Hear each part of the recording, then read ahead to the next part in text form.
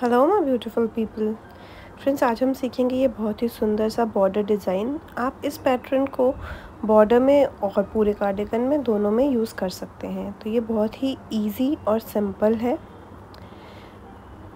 तो ये कुछ ऐसा जिग सेक जैसा आपको दिखाई देगा फ्रेंड्स इसमें हमें मल्टीपल चाहिए थ्री का प्लस टू एक्स्ट्रा स्टिचेस लेंगे। केवल टू रोज़ का ये पैटर्न रहेगा। तो चलिए स्टार्ट करते हैं डेमोन्स्ट्रेशन से। टोटल 26 स्टिचेस ले लिए हैं मैंने थ्री के मल्टीपल में 24 and plus two extra stitches हमारे रहेंगे। तो आप इसी के अकॉर्डिंग अपने पूरे स्वेटर या कार्डिगन के लिए डाल लीजिए, फंदे जितने भी आपको रिक्वायर्ड है।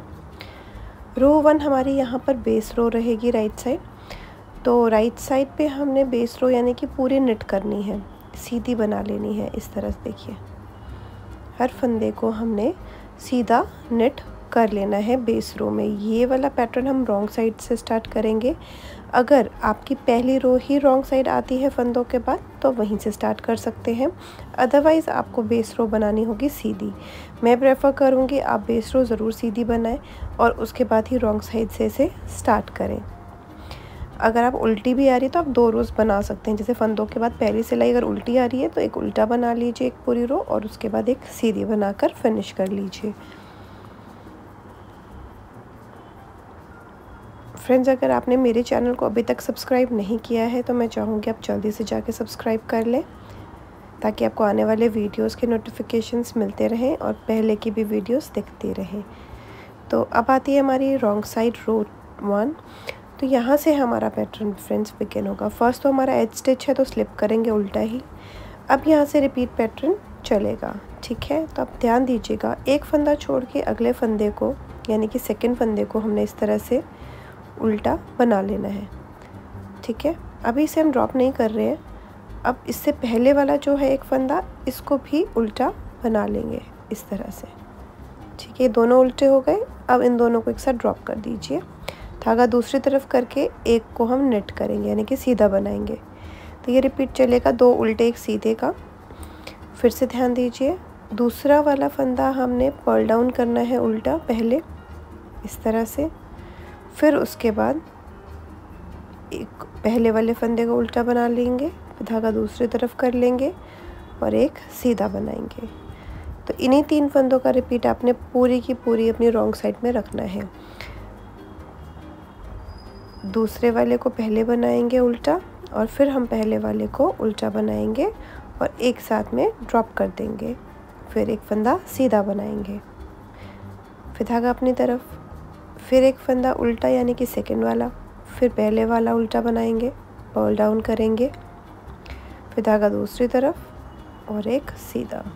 तो दो रॉन्ग स्टिच बनेंगे और एक हमारा नेट होगा। आपने यही पैटर्न अपने सारे के सारे स्टिचेस में फॉलो कर लेना है एंड तक रॉन्ग साइड पे।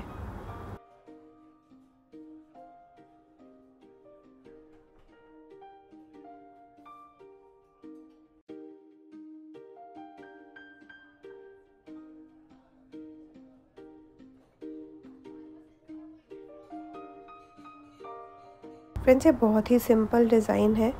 आपको थोड़ा ट्रिकी लग रहा होगा देखने में, लेकिन अब बनाएँगे तो बहुत सिंपल है। आप इसे ज़रूर ट्राई कीजिएगा।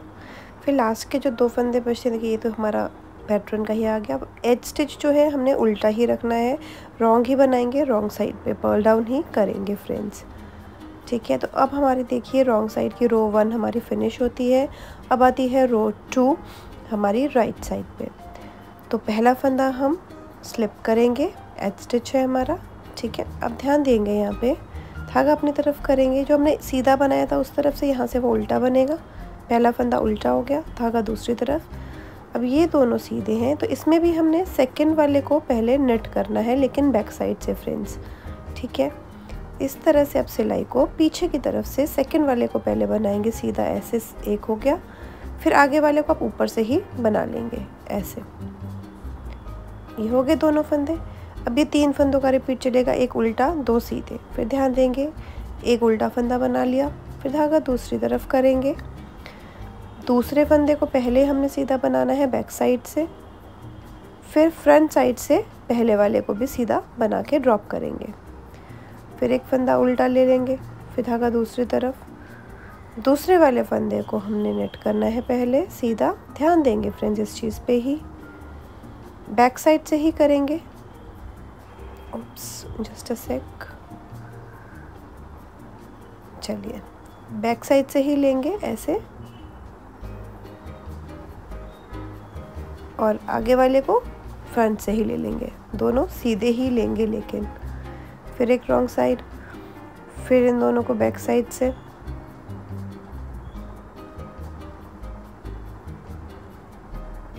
सेकंड वाले को पहले नेट करना है, फिर फ़र्स्ट वाले को करना है सीधा नेट तो आप यही पैटर्न यही तीन फंदों का रिपीट चलेगा, एक उल्टा, दो सीधे. एक उल्टा, दो सीधे. यही रिपीट आप पूरे में फॉलो कर लेंगे.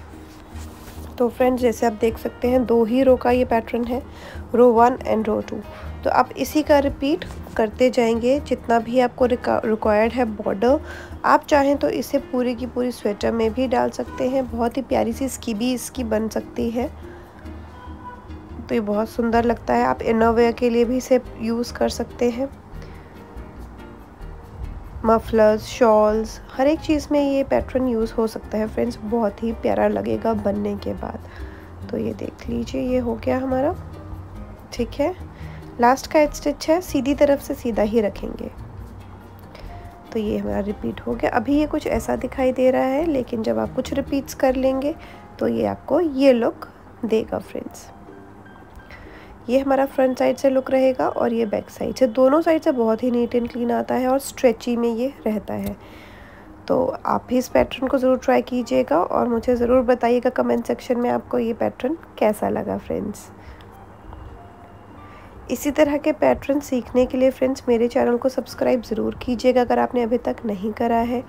नीचे ही आपके राइट हैंड साइड पे सब्सक्रिप्शन का बटन है ब्लैक कलर का, उस पर क्लिक करेंगे तो आप मेरे चैनल के और हमारी फैमिली के मेंबर बन जाएँगे। तो फ्रेंड्स देर ना कीजिए और जल्दी से सब्सक्राइब कर दीजिए। वीडियो को लाइक एंड शेयर भी ज़रूर कीजिएगा।